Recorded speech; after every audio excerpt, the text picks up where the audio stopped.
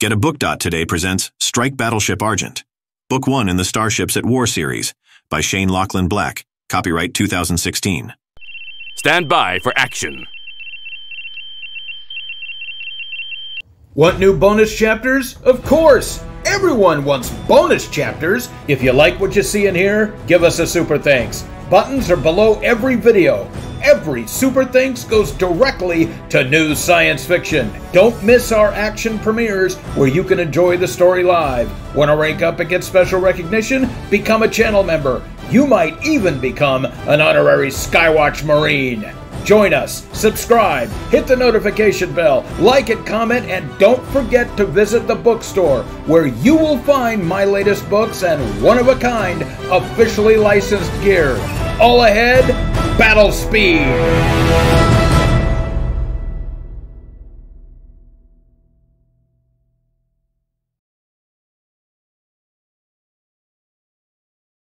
I have a heavy energy reading bearing 060 range 70 yards. It's right below us. Yili spoke evenly and quietly into the comlink pickup. Zoni nodded. The two officers kept themselves pinned against the cool metal surface of the subterranean bulkhead. They were on the third sublevel of what they both guessed was the station's easternmost wing. So far, they hadn't seen any other personnel, which was disturbing on a number of levels. Why was the location they had just visited guarded by two people while the rest of the station seemed to be deserted? Zoni was listening intently for any unusual noises, but even her rather sensitive hearing wasn't able to detect anything except a pleasant hum that seemed to emanate from the very structure itself. Yili suspected this was coming from the station's power source, she also suspected the reason nobody had come to greet them so far was because they were waiting until the optimal moment to take them prisoner, instead of risking one or both of them. Having the Argent's chief engineer and signals officer in custody would make things that much more difficult for Captain Hunter and his battle group. It's the kind of thing Yili would have encouraged Hunter to do if the tables were turned. Just then, Zoni heard the unmistakable sound of a human voice.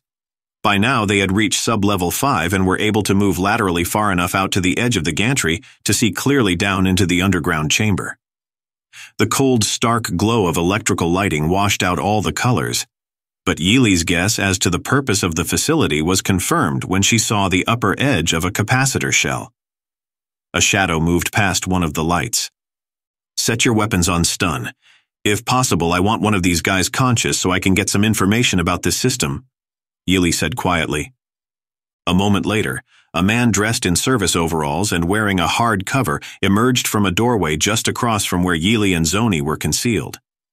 He looked up and froze just long enough for Yili to finish making the modifications to her weapon. His shout was cut off by an ozone-scented flash of light. His handheld clattered to the metal deck and his relatively heavy body followed. Lieutenant Curtis moved forward and rolled him over. The burnt rip in his technician's clothes was still sizzling. Finding nothing of value, Yili retrieved his handheld and moved across the level 5 platform towards the next flight of steps down. Before descending, she stopped to examine the unit. This guy was taking ambient energy readings, she said quietly. Looking for stray antimatter particles. They've got a conversion reactor down here somewhere. That's more advanced than our ships, Zoni whispered urgently. Yup, and it makes a neat little power source for that gun. That capacitor housing seals the deal. This thing should be fully operational unless they broke something or aren't done activating the power systems yet. We need to find out how many people are manning this station, Zoni said. If there's only a skeleton crew, maybe we can do exactly what you said and get the skipper his trump card. Agreed. If this station is built the way I suspect, the control mechanisms are going to be relatively high up in the structure. That way, they always have the option to seal off the entire reactor mechanism from above and do it with minimum power requirements. Always better to let gravity do your work for you. The natural gravity rating here is only 0.21. Must have built this place the old-fashioned way then. How's that? Weld five doors together instead of using one. Yili grinned and Zoni almost laughed. You know, that gives me an idea. If we can find the control systems to seal off the lower sublevels, we might be able to trap most of their manpower below and save ourselves the trouble of shooting them all. Can't they just turn off our power? Not unless they want to suffocate and freeze to death down there. If I can get 20 minutes with their main junction lines, I can cut off their ability to override the security systems and put us in control of the gun without firing a shot. Are you trying to be silly? Zoni asked. Yili raised an eyebrow. Never, why? Just how many sublevels does this place have? Zoni asked as she peered over the edge of the gantry platform. A moment later, all the lights shifted red and a high-energy alert klaxon began to sound. The two Argent officers looked at each other for a soundless moment, and then they bolted back to where they had stunned the unfortunate technician. From below, they heard shouts and footsteps banging on the metal stairs. Did we set off an alarm or something? Zoni shouted. Nobody was going to hear her beyond a range of about 10 yards over the klaxon, so she figured it was past the time to try and be sneaky. Whatever is going on, it wasn't us, Yili shouted back. She grabbed the unconscious man's heels and lifted them up. Zoni snagged the shoulder straps of his overalls. Together, they dragged him into the small heat exchange terminal he had originally emerged from. Yili barred the hatch and locked it from the inside. She produced a universal leverage tool from one of the pockets on her own electrician's vest and rapidly disabled the outer indicator console. Everything went dark except the backlight for the environmental controls next to the hatch. The stunned technician started to wake up. Yili cocked one of her blasters and pointed it at his face. By the time his eyes opened, footsteps were clattering by outside. He saw the business end of the Argent engineer's pistol, and his eyes went wide. Yili put her finger to her lips and winked. The clattering outside faded. Who the hell are you people? he whispered angrily. This is a Skywatch military operation. Oh? Yili replied sarcastically. What Skywatch? The man hesitated, his eyes bulging. It seemed like he had a lot to say initially, but had suddenly decided he might have already said too much. Is Skywatch in the habit of building planet-sized gun installations out in the middle of nowhere these days? Zoni asked. We had to protect... Protect what? Humanity. The man looked back and forth between the two officers. Just whose side are you two on? Chapter 70 New contact, 0.0, evasive. The atavistic reflex to duck seized the entire bridge crew as an unidentified Corsair warship filled the forward observation bays of DSS Dunkerque momentarily and then vanished, leaving only a brief memory of the enormous stylized golden condor painted on its ventral hull.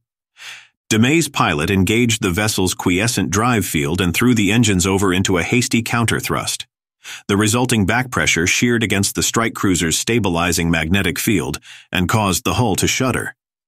Powerful electromagnetic waves pulsed in all directions from the ship's battle-caliber deflector systems, and bolts of high-energy plasma spidered into space, scorching the surfaces of at least a half dozen passing asteroids.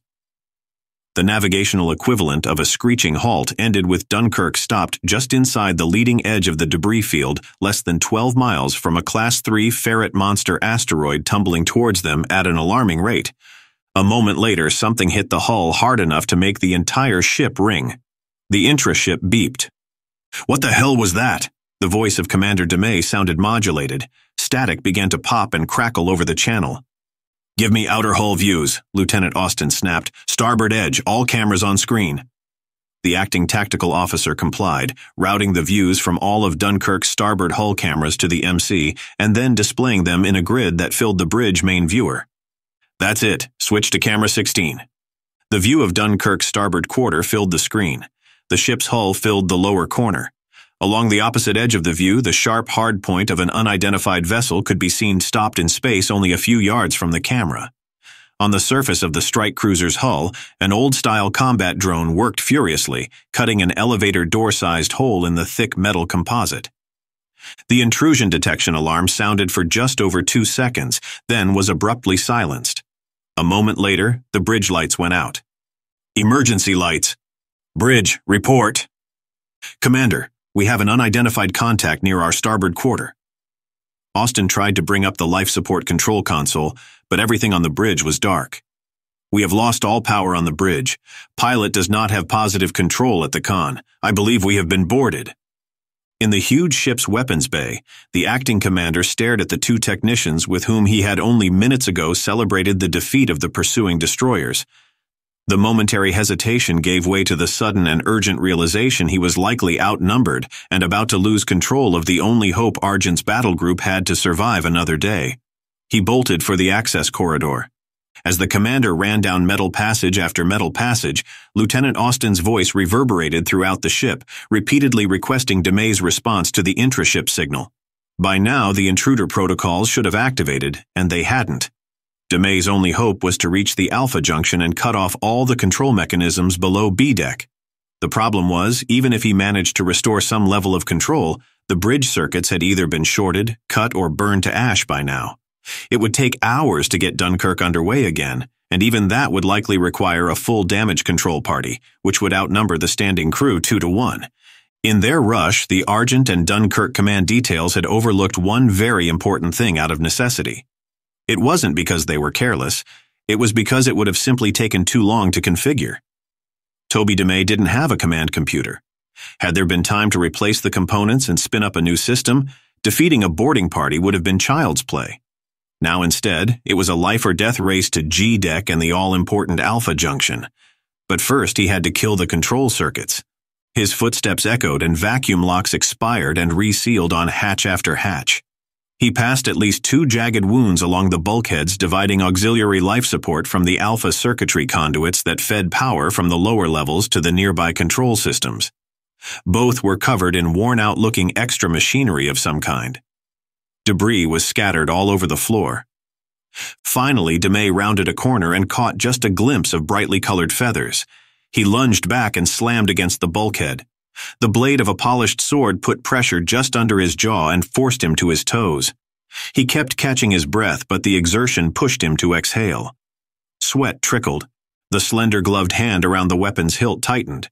Her face was momentarily hidden underneath her wide-brimmed hat. Then she locked gazes with DeMay.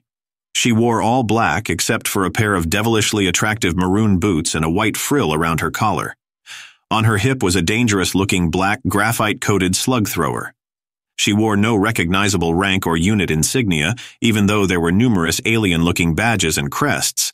Nevertheless, she was unmistakably a human female with the curves to prove it. Behind her, a not terribly legitimate-looking technician was cutting through another bulkhead with a portable laser torch. Honored, Commander. Her cat-like eyes twinkled with playful menace. DeMay took a breath to speak. Don't bother warning me about the security detail, she quipped. There are eight unfortunate souls on this ship. None are Marines, and I have their captain.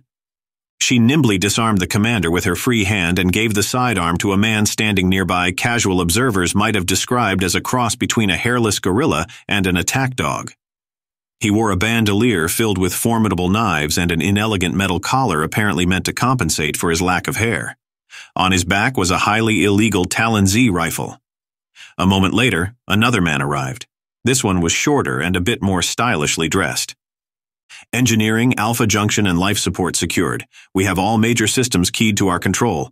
We've taken her a prize. Very well. Order Smallbird to picket course 2, the young woman replied. Then she turned her attention back to her prisoner.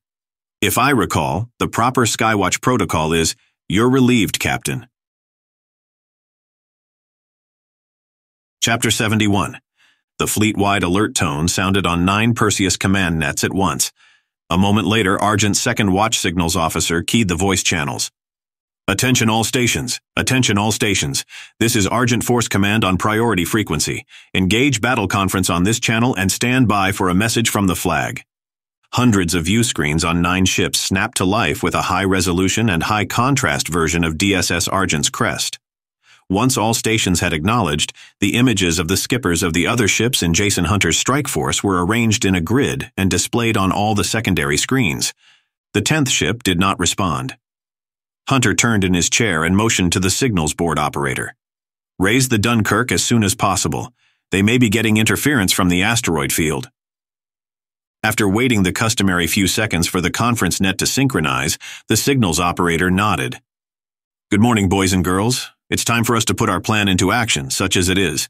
King 2 is 20 minutes behind us, and although they are still running with drive fields up, I expect it won't be long before they start trying to close the distance. They know what happened the last time they fired on my ship without provocation, so I expect they'll be loaded for bear and ready for anything. Commander Hunter spoke up. I presume we'll be running for the same waypoints to come around on the high side of the steel wheel? The tactical plot replaced the video grid momentarily. Correct. We will run at standard configurations to point uniform tango, then launch skirmishers, drop our fields and make a continuous acceleration run for victory tango. If we time it right and keep a tight formation, we should reach point whiskey tango in about 14 hours. By then, I expect one or more of our landing parties will have secured the battle station, and we'll have it out on the east beach about one megaclick from the gun. Commander Flynn? Sir? Raymond Flynn responded from the bridge of the Constellation. Commander Hunter tells me you and Commander Harcourt are our long-range combat specialists. What are your recommendations for dealing with our opponents? Our advantages offset whether we stay at range or close, sir, Harcourt replied from DSS Ajax's weapons bay. Behind him, Cruz worked frantically, preparing his tough little ship's sophisticated anti-missile hardware. King 2 has the advantage in long-range firepower and strike capabilities. We're better suited for a bar fight. Explain. I'm vaguely familiar with Task Force Poseidon. The King's Blade anchors a team of three specialized capital missile platforms. Their screening vessels are there to keep those bigger ships alive so they can do what they do best. Orca and Task Force Hades do roughly the same thing, except they send fighters instead of missiles. If they get both formations close enough, they'll eventually wear us down with numbers. One at a time, they're manageable. They can outgun us, and since they've got a huge standoff arsenal, they don't have to outrun us. They can just rotate fighter strikes and hope a lucky torpedo hit penetrates our anti-fighter screen, Flynn added. It should be noted Kingsblade and her group can outrun the Orca's formation. The heavy carriers in Orca's class just aren't set up for running and gunning. So the operative question becomes, is there any way to split that force between here and Whiskey Tango? Commander Teller asked from aboard the Spruance. Not likely unless we split ours, Commander Hunter replied or if they are reckless enough to send one of their capital platforms after Dunkerque and the battle station. As long as they stick together, they have the advantage at range. Then perhaps we should reconsider closing range and taking them on head-to-head, -head, Jason said. Bold but risky, Harcourt replied. Even though I doubt they would be prepared for it, and even though I estimate we could score mission kills on at least two of their missile cruisers, I'm forced to agree with Commander Hunter. The Agamemnon was one thing, those two beasts out there are firepower-packed blocks of muscle and angry. The Kingsblade has a gigantic main battery designed for planetary assaults. She could get a half dozen alpha strikes off in the time it would take to close range. The only ship in our formation that can take that kind of punishment is Argent, and with all due respect, that's why yours is the last ship they'll target. So we're back to the original plan. Hunter began. Go round the horn and hope one of their capital formations breaks off to race through the asteroid field and try to cut us off. And hope we can survive whatever they throw at us in the next 14 hours, Jace concluded. If only we had a bigger diversion than just the Dunkerque, Jason muttered. Chapter 72 What's your name, mister? Lieutenant Tixia had already dragged the technician to his feet. The alert klaxon had stopped sounding and left only the condition lights bathing the entire installation in shades of red. Yili kept her weapon pointed at him, even though he looked pale and was likely relatively harmless. Suddenly, he snapped to attention. Corporal Roger Daysmith, designator Kilowatt 6084. Yili and Zoni looked at each other. I wish to speak to a neutral representative of... Relax, Corporal. You're not a prisoner of war, Yili interrupted. Daysmith didn't respond immediately, although by his manner it looked as if he were trying to figure out why two unidentified women were holding him at gunpoint. Yili and Zoni retreated a few steps and conferred. He's a Skywatch Marine Corporal and he doesn't recognize our uniforms? Zoni whispered. Yili raised an eyebrow. What is going on around here? she asked rhetorically. Corporal, what's your unit and who is your commanding officer? Yili asked. Daysmith hesitated. That information is on a need, I asked you a question, Corporal. The tone in the engineer's voice left no room for interpretation. More hesitation. Do you not recognize my unit insignia, mister? Just what kind of Skywatch operation promotes someone who doesn't recognize his own uniforms to corporal? She's a fleet officer, Daysmith, Zoni added, and so am I. You don't get a choice here. What unit are you with? Second Squad, 12th Marine Recon. Daysmith, if you want to become a prisoner of war, you're well on your way, Yili replied. There are three recon divisions. Your unit doesn't exist. Tell me another story and we'll just turn you over to Colonel Moody and see what he thinks of guys named Roger who play Marine. I have no duty to answer to either of you, Daysmith sneered. Yili advanced. You took a shot at us, Corporal. Last chance. We are servants of the Ithis, Daysmith whispered ominously. His hand went to his mouth. Zoni grabbed his wrist, but it was too late. A vial fell from his hand and all three fell to the floor in a desperate scramble. Seconds later, all the color drained from Daysmith's face and he stopped moving, eyes staring. Yili slammed her fists against the floor in frustration. Back to square one, Zoni said absently. Lieutenant Curtis paused, arms around her knees as if either gathering strength or trying to recover from what she had just seen. Perhaps it was a little of both. At least now we know who is shooting at us. Chapter 73 No need to be apprehensive, Commander. We're not savages. The slender woman reclined attractively at the Dunkerque's con. Her feet were propped up on the pilot's console. The forward view screen showed several other ships in formation with the much larger strike cruiser. They all looked a bit worse for wear, but to a trained eye, they also looked more than a little formidable. Each was colorfully painted with an avian motif. The flagship of the squadron was built on a long since retired war frigate hull decorated like an enormous golden condor, but it had been heavily modified to the point where its visible armament was at least a match for the next larger class. Like her captain, one could only guess at its hidden weapons. All six of its escorts also had visibly overbuilt engines. You like my ship? Made it myself, the woman said with a nod to the view screen. Forgive me, I've been impolite. Captain Cerilia Lorleon, at your service. She touched the brim of her hat politely. What is it you want, madam? Commander DeMay replied. His entire crew had been led to the bridge at rifle point. Captain Lorleon was attended by what DeMay guessed was her second in command. He didn't speak. The expression on his face was somewhere between contentment and menace. I suppose the crude answer would be, I want this ship. But I'm a little harder to satisfy than that, Commander. I've been watching my favorite young man for some time, and I'm always intrigued when I see a Skywatch captain do something reckless and against regulations, sending a ship of the line roaring off into space with less than 10 people aboard? Now that sounds like desperation. I'm not at liberty. Lorleon held up a gloved hand. Please, I already know more about this mission than you do. I know what you're trying to do and why. I just want to hear it from the source. Open the channel, please. Cerilia walked her heels along the edge of the pilot's console until the chair swiveled enough to face the forward view screen. An instant later, the face of Captain Jason Hunter appeared. Dunkerque, what is the meaning of this? he barked. Well, Captain, it seems now I have two things you want, Lorleon purred. Cerilia, what the hell are you doing aboard my ship? Well, at this point, I wouldn't say it's your ship, after all, you left this nice young man in command and sent him off on a very dangerous mission. Such an honest-looking officer, too. The least you could have done is send someone to keep him company. So I volunteered. So help me, if you've done anything to my crew. They're right behind me, unharmed. Why do you all think I'm so bloodthirsty? She put on a show of acting hurt. I'm just trying to make a living. Times are tough. You know how it is. We don't have time for games, Cerilia. There's a big fleet with very big guns coming after us.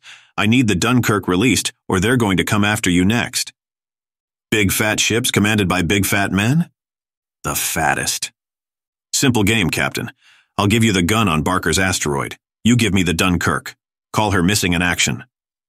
You know I can't hand over a ship of the line, Cerilia. I'd be hanged for piracy, and they'd court-martial my coffin. Oh, I wouldn't let them do that to you, Jason.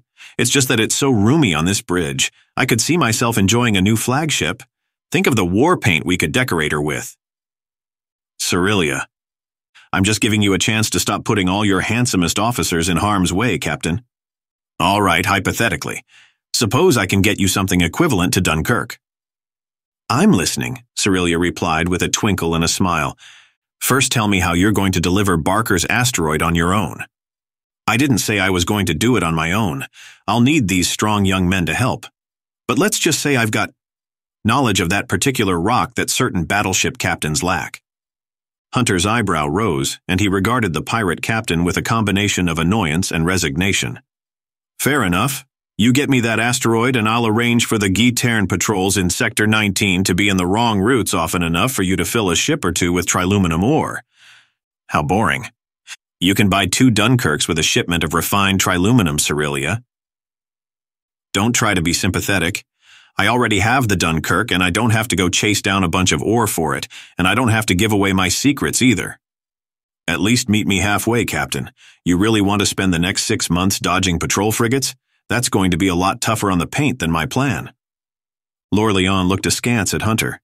Three shiploads and not an ounce less, and you owe me one. She folded her arms and pretended to look put upon. Done. Hunter smiled, and Cerelia couldn't help herself. One of these days, that boyish charm isn't going to work on me anymore, Captain Hunter. She sarcastically emphasized the rank. I plan to rely on it my whole career. Please relinquish command to Mr. DeMay and coordinate with his crew. Hunter out. Cerelia raised an eyebrow at DeMay a moment after the view screen switched back to Argent's emblem. That went better than expected, Toby said with an expression somewhere between recently escaped from pursuing wolves and mute shock. Only because your captain is irresistibly delicious, Lorleon replied. Any other Skywatch officer would have been left with nothing but an ion trail. Chapter 74 Possible emissions change in targets designated King 2 bearing 178 Mark 10 range now closing on a 1.7 delta. CIC acknowledge. The officer manning the Skywatch command console was literally standing at the nerve center of the Argent's massive electronic sensor and scanner arrays. Anything that moved, emitted a signal or any kind of energy within 30 million miles of where he was standing would instantly show up on any one of more than a hundred readouts. It wasn't a mistake he was also standing above every other location aboard the ship. The Skywatch station aboard a strike battleship was more or less the control tower for all of the vessel's flight operations. Its sister station was the Combat Information Center, which performed the same function for the vessel's weaponry. The coordination between Skywatch, CIC, and Force Command on the bridge was what made ships in Argent's class so formidable, they didn't have the numbers of fighters a true carrier could muster, nor did they have the firepower of a true battleship, but they were good enough at either combat role to rarely be underestimated. Affirmative, Skywatch. CIC confirms. Stand by on this channel. The gray phone above the con buzzed. Captain Hunter reached up and grabbed it out of its thick metal hook. Bridge. He listened carefully. Acknowledged. Maintain alert status. He slammed the receiver back into its cradle. Get me an update on our flight readiness. King 2 is accelerating to launch speed. Signals, raise Ajax and Minstrel on secure frequency. Lieutenant Velasquez performed a readiness sweep of all alert spacecraft from the flight operations station. The activity on all three of Argent's flight decks was brisk. Two complete watch rotations were at work arming four of the flagship's five fighter combat squadrons, Avatars representing each of the lethal little ships turned green as they were linked into the battlespace telemetry and communications network. Flight 1 Prep Squadron 994 proceeding in combat order. Jets in 30. Inside the spacious flight deck, Yellow Jacket fighters emblazoned with the fanciful crimson flags, swords, and grinning pirates of the storied Red Buccaneers rose from their ordnance platforms one by one and turned towards their respective rail tunnels. The high-pitched whine of their atmospheric thrusters mixed with the low hum of strengthening magnetic and anti-gravity fields. Red rotating lights flashed under each fighter's hull. Deck crews backed away to safe distances after detaching fuel and telemetry equipment. Each fighter followed the signals from its respective deck stacker, a Skywatch term for the flight crew member tasked with directing spacecraft to and from fueling, arming, flight check, and launch stations. Moments later, Flight Leader Harrison March's Yellow Jacket attack fighter locked into position inside the deck's first launch tunnel. Other fighters followed, each floating into its own launcher at 15-second intervals. It was a highly choreographed precision maneuver that put 11 heavily armed fighters one order away from rocketing into space at 2,000 miles per hour. Velasquez hung up his own handset. Flight 1 reports Squadron 994 standing by to launch at your command, sir. Meanwhile, on the starboard side of the ship on Flight Deck 3, the exact same dance was being performed by the 17 Wildcat fighters of Argent Squadron 85, known as Los Gatos. All of Fighting 85's hulls were painted night black and decorated with silver sword blades along their lateral edges. With exactly the same precision and speed, the first 12 ships were loaded into rail launchers, and ready signals were flashed to the bridge and to the Skywatch station in Argent's tower. Flight 2's situation was a little different. The largest of Argent's three flight decks was constructed to launch both fighters and their larger sisters, the corvettes, paladins, and gunships. T-Hawk Green was first in the combat readiness rotation for second watch. Because of the larger sizes of their ships, Flight 2 had six heavy rail tunnels instead of the 12 smaller versions installed in the outer decks. It still meant they could put the entire 11-strong T-Hawk squadron in space in under 60 seconds if necessary. Moments after receiving the alert signal, Flight 2 notified the bridge T-Hawk Green was standing by. The sharp-pointed arms of Argent's unique weapons platforms loomed over the flight crews as they waited their turn. Lieutenant Velasquez turned to the con with the handset to his ear. Flight 2 is green. All decks show ready. Signals raise the Ajax. A few moments later, Commander Harcourt appeared on the Argent's main screen. Behind him, the tough little frigate's bridge was alive with activity. Ajax, Harcourt? Commander, we've got some traveling companions standing by to assist. What is your status? Hunter's voice was full of confidence. Ajax will take the southeast picket. Minstrel will cover the front door, sir. Acknowledged. T-Hawk Green will be standing by to back you up. We will have three combat space patrols on a rotating watch in the saddle. King 2 is accelerating and we expect Orca to launch any moment. If any hostile fighters break range, they get one warning. Clear? As a bell, sir. Ajax out. Get me the Fury, Hunter said as he picked up the armaments report for the three squadrons awaiting his launch order. Fury, Hunter. Tell Honora I'm doing my best to match her mastery of the combat space patrol, Jason said without looking up. I'm sure she'll be gratified to hear it, sir. We can't confirm any launch or hostile action from King 2, but they are closing range. Agreed. I just found another ace in the hole. Either that or a joker. We'll find out when we get to a decision. I have ETA to Uniform Tango at 31 minutes present speed. Ajax and Minstrel are establishing a picket at 5 million miles, and I've got Jacks, Cats, and T-Hawks on station to back them up. What is our battle group status? Revenge, Spruance, Constellation, and Fury are 90% reconfigured for medium-range missile standoff.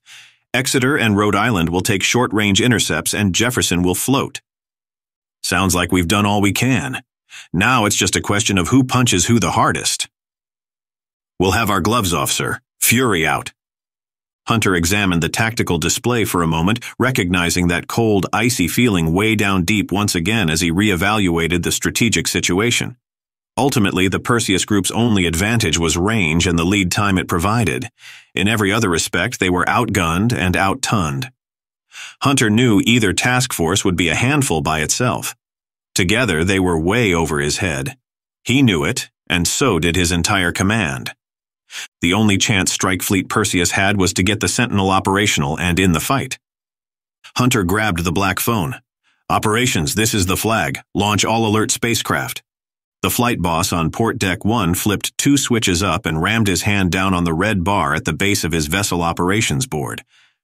Three-foot-wide rotating white and red lights went active along the ceilings of all three flight decks at once indicating a TAC Signal 1 combat launch. The priority net switched over, and his voice sounded in every pilot's headset and from squawk boxes inside Skywatch, CIC, and the bridge. Spaceflight Operations Deck 1 to all alert spacecraft, your signal is jets. I say again, your signal is jets. Time out. Mark 15 seconds. Victory 3. 3-5, your rally point is on the board and locked in. Spaceflight Operations Deck 1 to all alert spacecraft. The voice of the flight boss was overwhelmed by the piercing sound of Lieutenant Commander March's engines and the deck-shaking thrum of the rail tunnel's magnetic and electrical charging coils. The rail operator peered out of the nest built into the floor of the launching system. He could see the Yellow Jacket pilot's name and caveman call sign emblazoned just under his cupola, the black blast plate over his eyes made it impossible to see his face. Commander March turned toward the nest and saluted sharply just as his engines reached launch power. He grabbed the controls with both hands as the charge indicator rolled across the rail operator's console and finally shifted green. Tunnel 1 shuddered with barely restrained energy just before the stabilizers blasted all 12 of the gas pressure locks around the vessel free. Buccaneer 1 rocketed forward, slamming its pilot back in the crash couch. The glowing circular amplifiers slid past his fighter at faster and faster speeds until he exploded into space at more than 350 miles per hour. Seconds later, his heavily armed little craft punched up to more than 2,300 miles per hour. On the opposite side of Argent, the same ritual played out for Lieutenant Jonathan Tichborne's Gato Uno, dubbed El Jefe by his squadron. A quick salute, and his black sword-emblazoned ship surged forward, propelled by incomprehensible power. Los Gatos were officially on patrol. Then Lieutenant J.G. Eileen Walsh, call sign Meerkat, saluted the emblem and slammed both feet down against the gas locks. A moment later, Buccaneer 4 blasted free of Argent's flight deck. Seconds later, one of the double-sized rail tunnels along Argent's ventral hull glowed to life. Inside, the lethal weapon points of T-Hawk 5 twisted and folded towards her center axis as her drive field steadily powered up around her menacingly dark hull. The anti-magnetic energy of the gunship's interdiction systems reacted with the apocalyptic voltage inside the rail tunnel, providing the additional energy necessary to accelerate a much larger ship to launch velocity. The pilot saluted the emblem and clamped both hands around the vessel's grip triggers. T-Hawk 5's engines exploded to life and caught the leading edge of the magnetic force before the ship roared out of the rail tunnel at hundreds of miles an hour. Within seconds, it banked into formation with Buccaneer 1, like a bald eagle maneuvering into formation with a flock of sparrows, and set course for the first rally point. Behind her, Gato Cinco flashed into space, followed by Buccaneers 2 and 7 and then T-Hawk 8. In the space of only three minutes and change, DSS Argent had launched a mighty wave of fighters and gunships. Chapter 75 They've got power down here. There's no question about it. This asteroid has been involved in everything we've seen so far, Yili said. So why didn't they maintain fire against Argent? Zoni asked, examining the discharged little alien device she had used to teleport herself and Curtis to the battle station. Yili suddenly stopped and stared at the control systems. They were part of an out-of-the-way valve control console, unremarkable in virtually every respect except for the information they were conveying to Argent's chief engineer. That's impossible, she half-whispered. Zoni looked up. Unable to interpret whatever Curtis was seeing, she turned instead to trying to decipher the pale look on Yili's face. She stood. What is it? They're not using power the way we do. Curtis replied, coaxing as much information out of the relatively underpowered little terminal as she could. Look at this. A colorful chart with undulating bands displayed across it appeared. That's a frequency map, Zoni said. Why would they need that in the power grid for a battle station's weapons? Because they're using pico-frequency communications to drive a matter-energy conversion field. Somehow they've found a way to synchronize the EM waveforms with the energy field they are maintaining. It rapidly dawned on Zoni what the implications were. The Dunkerque? Exactly. We had to generate our own energy field with the SRS emitters. Once we synchronized it, we opened a gateway to wherever the captain ended up and brought him and the out-of-phase ship back to our space. This Ithis Daysmith was shouting about must use this as the whole basis of their technology. They can project energy or matter through ultra-high frequency transmissions. Hold on a second. Zoni replied, pointing at the frequency map again. Those wavelengths are so short we can barely pick them out at ranges of a few feet. Getting a pico transmission across the room would take a couple hundred watts. Getting one from Argent to here would take tens of millions. Where are they getting the power? They only had enough for one shot from this gun. The theory is that once you sync the communications frequency with the energy signature, you get a hyper-efficient field density. It's like the opposite of a scattering field. If you plug in the right numbers, the field stabilizes at a given frequency, which means you don't use power at one end to jump to the other because because you draw power from the energy field itself, like an electric train. Exactly, Lieutenant. Yili switched the display back to the asteroid's energy system. And now that we know what to look for, we won't make the mistake of thinking this. She pointed at one of the large structures in the schematic is some kind of energy production node instead of a life support processor. Everything they've got down here is designed to keep humans alive. I'll bet you a steak dinner they set up that gun to draw energy from the exact same field that weird little teleporter uses. Zoni was already busy fiddling with the device's controls. Now that they had a working hypothesis, she was only a step or two away from proving it. I'm pretty sure I know what they did, she muttered as she turned the object over and over. A few moments later it lit up again, bathing the room in a soothing yellow glow. That thing just ties into the same field signature, doesn't it? As long as you've got the right frequency, Zoni replied. They can't change the energy signature of the field once it's established. They would have to create a new field from scratch. That probably takes more energy than they have access to, so that limits the number of available frequencies for getting matter, energy, and information from one point to another. But we already used the obvious one and it went dark. They switch them on purpose, don't they? Lieutenant Curtis was starting to get the hang of signals. Harmonic, Zoni grinned. Give me a week and I'll have the whole rotation mapped out. Either way, we're back in business and now we've got the advantage. Yili raised an eyebrow. Now that we know what to look for, this thing will lead us to every interesting place we need to go. I think we should be careful about teleporting all over the place. We don't need to.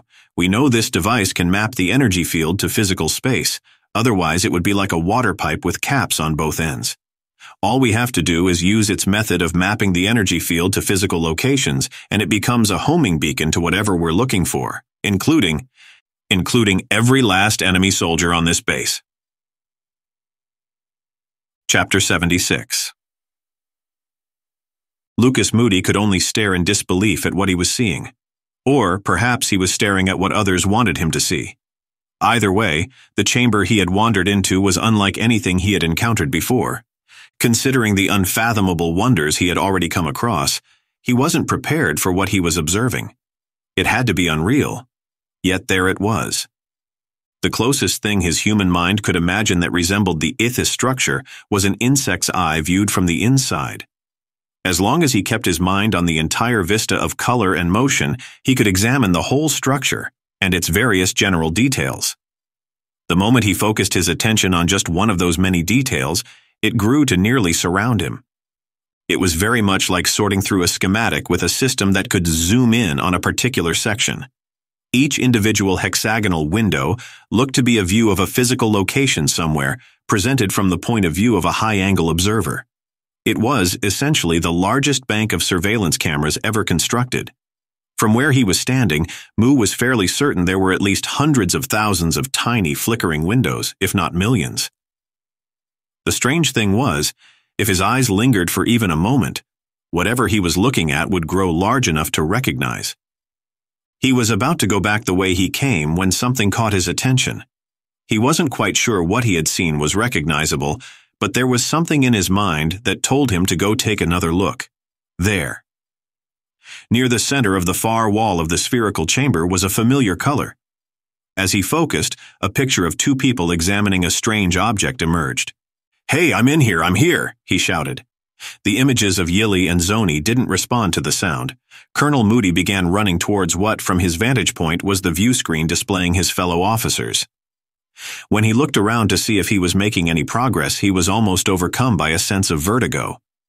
Being inside such a large structure made it very difficult for his merely human mind to gather any significant knowledge about his speed, direction, or momentum. He couldn't even say for sure what platform he was supported by. He could feel his footsteps, but he had no physical frame of reference. But when he focused his attention back on Yili and Zoni and whatever location they occupied, it became easier for him to recognize what was happening. He felt as if he were moving faster, but he could not say why. Whatever was at the other end of the view screen he was staring at as intently as he could seemed to get more and more real. Finally, his mind caught up with what was going on, and the control room where the engineer and signals officer were standing was suddenly approaching him at his top running speed. He started bellowing, and his voice rose higher and higher as he ran. A moment later, he burst through some kind of membrane and felt as if his body had lost at least one of its dimensions. In an instant of time, Colonel Moody caught a glimpse of open space, the upper edge of the Sentinel emplacement on Barker's asteroid, and an almost painfully bright lattice of alien numbers and letters. Then, still howling, he quite literally fell out of the ceiling and slammed against the floor next to Yili and Zoni. Broken and shattered pieces of metal, plastic, and stone clattered against the floor with him. Lieutenant Curtis jumped back and drew her weapon. Zoni shrieked and backed into a corner, ready to perform rare and violent martial arts. As you were, Colonel Moody coughed before rolling prone on his back and staring at the ceiling. Chapter 77 The frigate-enhanced wedge of Argent fighters advanced, clearing space ahead of their strike fleet. In the distance, the King II formation loomed. Both its capital ships were wide awake and active, making their avatars on the tactical display bright and crisp, and more than a little unsettling. Aboard Buccaneer 4, Lieutenant Eileen Meerkat Walsh was troubled. Before the launch, she had been provided with all the pre-flight astrometry and battlespace analysis, just like all the other pilots. But her instruments weren't responding as expected, and no matter what adjustments she made, the data she was getting was either defective, illusionary, or just plain wrong. Any Skywatch fighter jock would readily admit the majority of any squadron treated pre-flight astrometry like in-flight magazines on a commercial spaceliner. They might get an occasional flip-through, but were rarely studied. Meerkat was the exception. She had a system for making sure she got the essentials before she filed her data packs. What that pre-flight telemetry said and what her instruments were reporting were at odds. She cycled the diagnostic sequence for her passive spectrometry sensors once, and then once again. Every time the system reset, it glowed back to life with exactly the same information at a slightly closer range. Because the Kingsblade and the Orca were both running active, there was no way for them to conceal their organic signatures. They couldn't create reflective interference, and ECM would simply be a waste of power, as any medium-range electromagnetic detection or analysis system would be able to ride each ship's own range beacons right down to their respective bridges. That only meant one thing. If their organic signatures were absent, it meant there were no life forms aboard. Buccaneer 4's sensors were reporting exactly that. No organics, not a single molecule. If her observations were confirmed, it meant both task forces were unmanned. While the knowledge none of their fleet mates were in danger might have been a relief to Argent's attack wave initially, it was what came next that would chill even the bravest pilot right down to their knees. Who or what was controlling those ships? How were they controlled? And from where? Buck 4 to flight leader. There was a hesitant pause as the squadron had been advised to maintain radio silence until King 2's advance wave broke range. Go ahead, Buck 4, came the response. Eileen couldn't be sure, but Commander March's voice sounded tight and annoyed. So Meerkat decided to just go with the facts and by the book. The fighter wings maintained their formations, knifing through space at nearly 500 miles a second. Sir, my forward sensors are showing no life forms on any ship in Formation King 2. I've bounced the system twice, and I can only reconfirm my readings. There's nobody aboard those ships. Before Commander March could respond, an impossibly powerful explosion ripped a hole in space only half a light second forward of the leading Argent squadron. Reactive hatches and blast plates went dark to shield the pilots from the intense brightness. By the time their instruments cleared, three dozen DSS Orca fighters were screaming through writhing hundred-mile-long plasma fires directly into the teeth of the Argent attack wave. Chapter 78 Confirmed Dunkerque. The Sentinel is operational. We... The Argent transmission was overwhelmed by a surge of electronic noise. For a soundless moment, Captain Cyrilia Lorleon and Commander Toby DeMay stared at each other, their respective tactical and strategic minds coming to exactly opposite conclusions. We've got to take out that gun, DeMay announced. He moved quickly to man the bridge engineering station. You don't have the firepower or the standoff capability for that kind of assault, Commander, Lorleon replied. And neither do we. Get your crew and join us aboard my Corsair. We can approach that battle station by stealth and get you on the ground without firing a shot. I'm not abandoning my command, DeMay snapped, eyes intent on his engineering readouts. You were sent on a desperation mission that could only succeed against an abandoned or inactive installation. If that thing is operational, it will swat you out of space like an insect the moment you reach the perimeter. It's a suicide run, Commander. DeMay looked up. Are you asking me to trust you? I still have a wound on my neck from our first meeting. His expression was as deadpan as he could make it.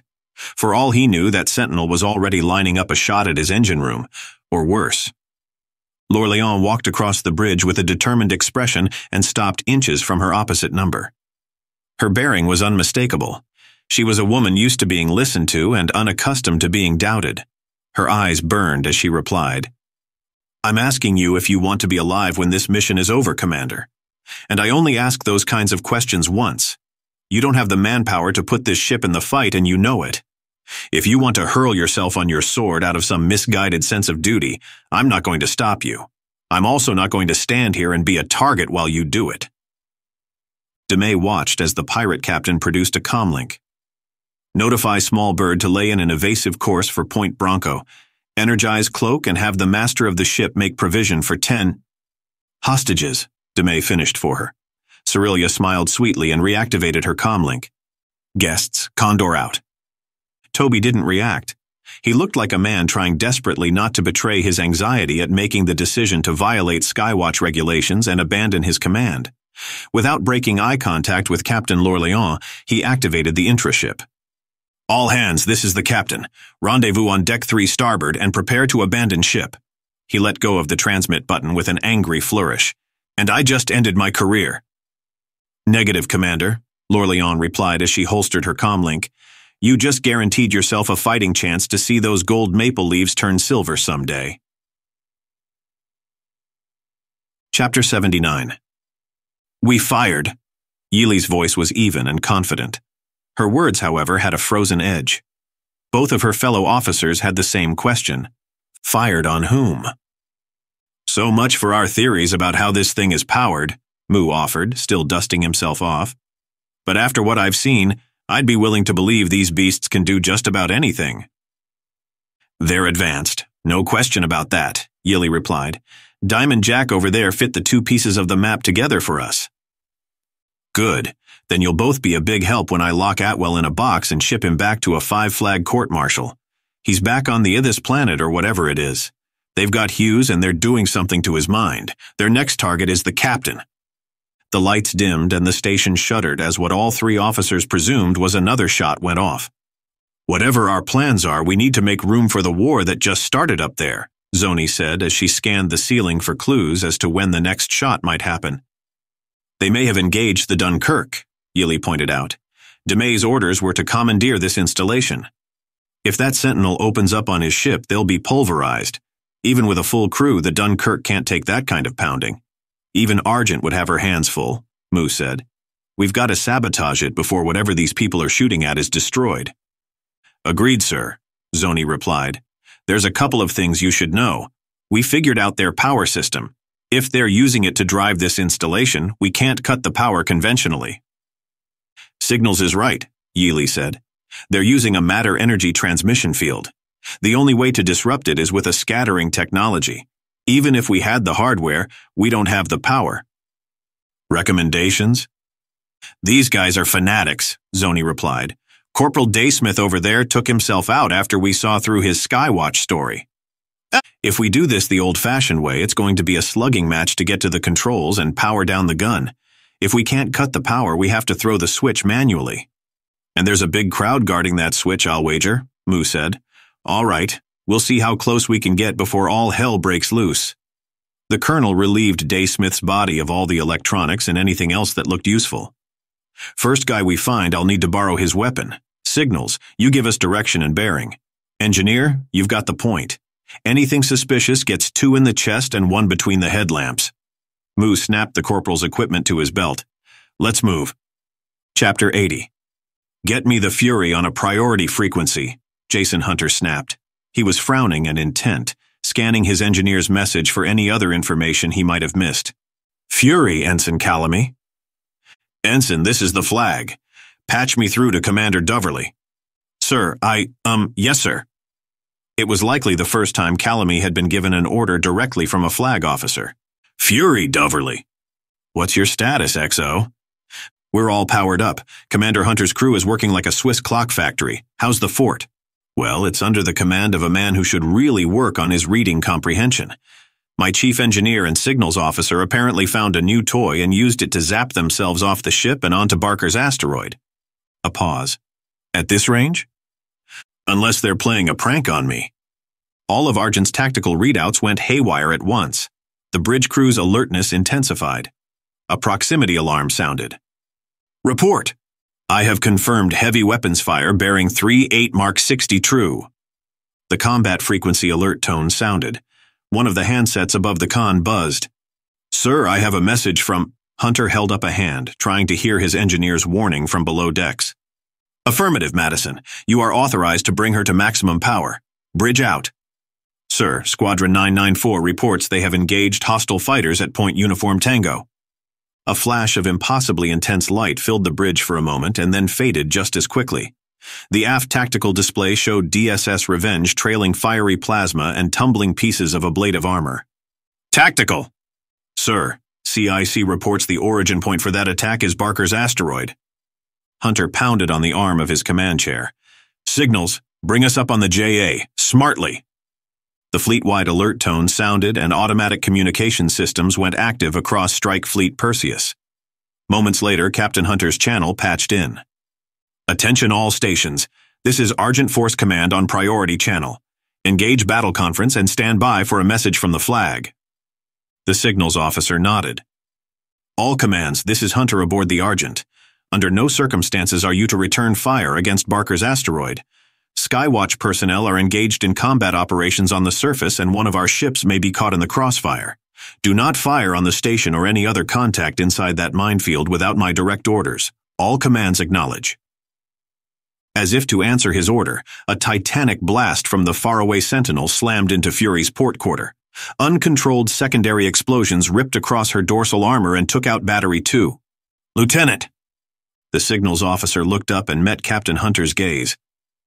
You have two minutes to raise the Dunkerque or a lot of people are going to die.